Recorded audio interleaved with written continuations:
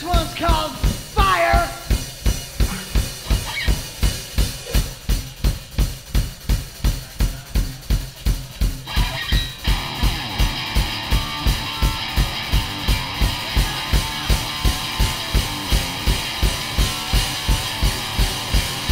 Make some fucking noise!